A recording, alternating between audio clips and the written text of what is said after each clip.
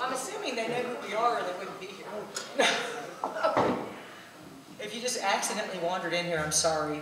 But we're doing this tonight. I hope that's okay with you.